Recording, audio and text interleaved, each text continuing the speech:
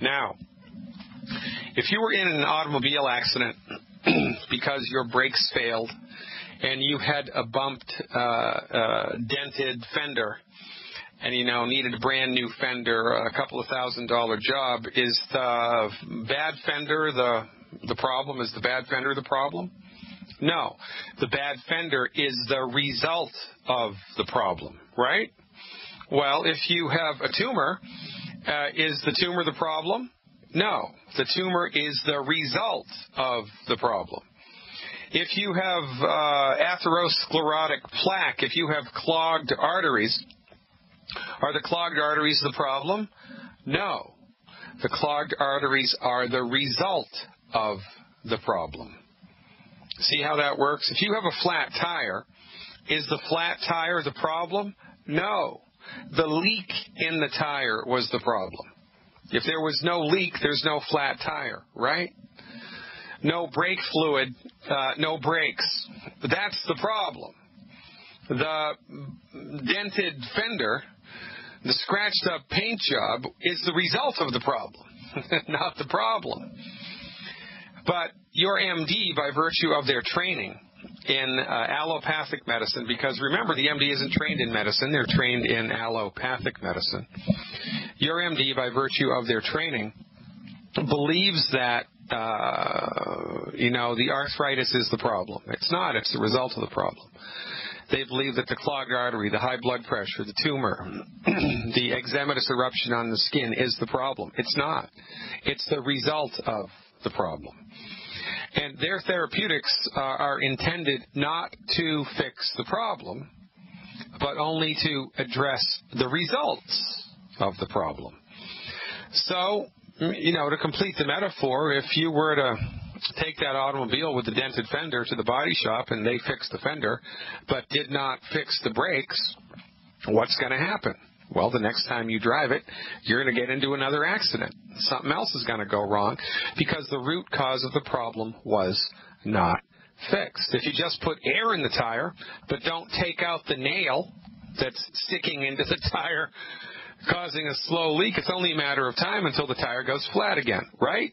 Right? Right. I mean, it makes sense to us when we think about automobiles. But for some reason, we haven't thought this simple concept through when it comes to our own bodies. Why? Because we have put our trust in the wrong area.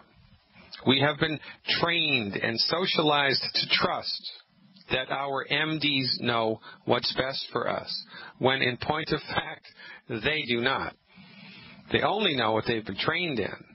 And what they've been trained in is just one small piece of the pie of medical science. It's really pretty good for surgery. It's really pretty good when surgery is indicated, necessary, mandatory. It's really pretty good for acute trauma care, lacerations, bullet wounds, uh, third degree burns, broken bones. It's really pretty good for a handful of infectious diseases, but that's the long and the short of it. That's the beginning and the end, the alpha and the omega.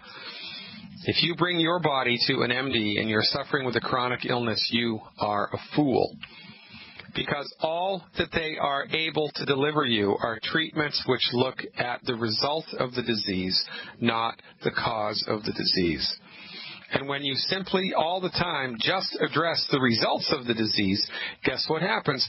Well, it's only a matter of time until something gets worse. Well, this is why when you go to an MD and you have high blood pressure, uh, they have to fiddle around with a couple of different blood pressure meds until they find one that works, and then it only works for about nine months. And then they have to increase the dose or add another medication or um, a diuretic now, or you know, they have to increase the therapeutic somehow because it has stopped working. Why has it stopped working? Because it never got to the cause of the problem. Never did. Never got to the cause of the problem. And this type of insanity, this type of old fashioned, juvenile, outdated, dangerous medical therapeutics are the type of medical therapeutics that you pay hard earned money to gain, uh, to gain access to every month with medical insurance premiums. It is the stupidest expenditure of money a human being can make is paying for a medical insurance premium unless it's a catastrophic premium that gives you, uh, you know, uh, is going to pay for the ambulance ride. It's going to pay for the overnight stay in the ER. It's going to pay for all of the nonsense that they're going to convince you that you need when you're in the ER, all the extracurricular stuff that you don't really need. But they're going to push it down your throat anyway because remember, it's a for-profit business. And also, they're scared to death of being sued, so they don't want to miss anything. So you go in with a splinter and they give you three MRIs two ultrasounds and a CT scan just to make sure. This is what it's come to, right? So we live in a real world and we have to be cautious. I mean, it's a good idea if you own a house to have insurance. It's a good idea if you own a car to have insurance, right? Because yeah, most people can't afford it if if things go south. But when it comes to medicine, medical insurance premiums give you access to naturopathic medicine? Not so much. Give you access to homeopathic medicine? Not so much. Give you access to chiropractic? Well, maybe a little. Not so much, though. Give you access to acupuncture, Ayurveda, or herbal medicine, or traditional Chinese medicine? No, not so much.